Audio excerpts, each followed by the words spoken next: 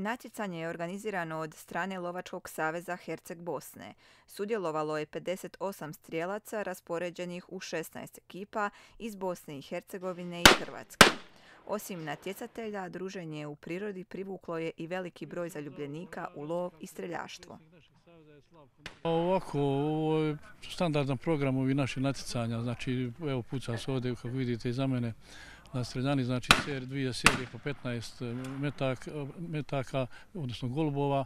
Nakon toga se proglase momčarski pobjednici i prvi šest strelaca još puca jednu seriju za pojedinačni poredak.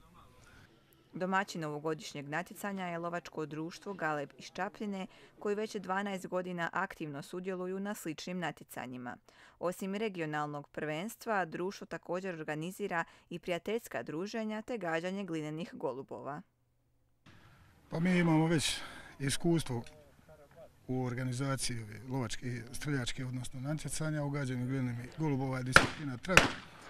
Pripreme smo završili na vrijeme, evo kao što i vidite sve teče bez problema. E, financijski e, surađujemo sa Lovačkim savezom Herceg Bosne, jedan dio troškova snosi Lovački savez, jedan dio će e, snositi Lovačka udruga Galebiša.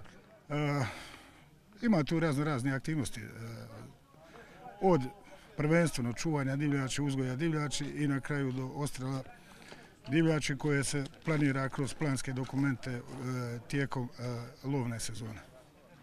Od četiri gostujuće ekipe iz Hrvatske na natjecanju su se uspješno predstavili i članovi lovačke udruge Jastreb, Babina Greda iz Vukovarsko-Srijemske županije.